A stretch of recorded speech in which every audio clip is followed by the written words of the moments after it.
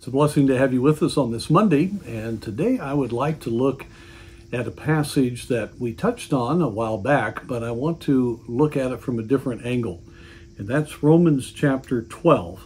The end of chapter 12 deals with our response with those who are our enemies or those who cause us problems, and there's a lot of very important principles that the Lord gives us here. But I want to look at a couple of things here that I believe is very important. First of all, starting in verse 17 recompense to no man evil for evil, provide things honest in the sight of all men. When we feel like we've been wronged by our government, our culture, um, the many different organizations around us that affect us, our job, and we're wrong because of what we stand for. There is a real temptation because of our natural humanity to want to have that revenge, evil for evil.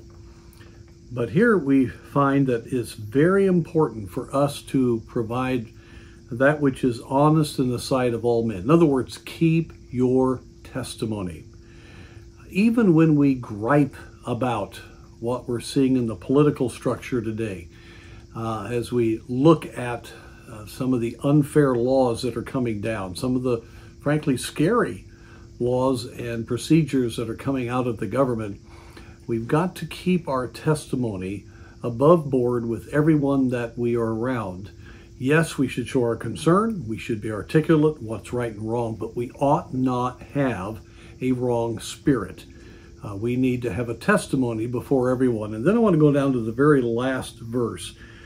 Be not overcome of evil, but overcome evil with good.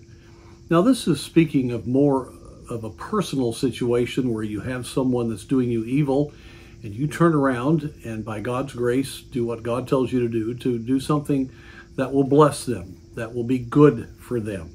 Uh, that's very important that we have that kind of heart.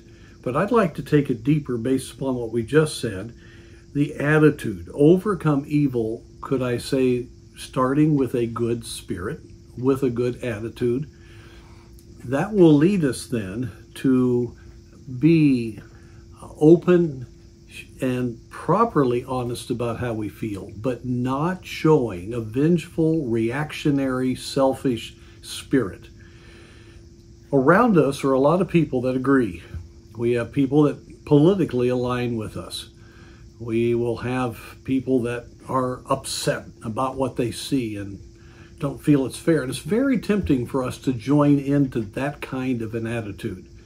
But as a believer, we need to take our stand on what is right, and certainly we can articulate what is right, but our spirit is what needs to also be right.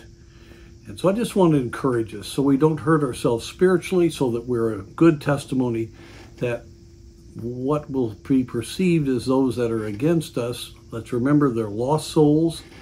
We need to pray for them. We need to have the right attitude. And then to all of those that hear us and see us, we need to show that we trust our God and that above everything else, we want to show good to everyone that God has put in our way and to show forth the love of God.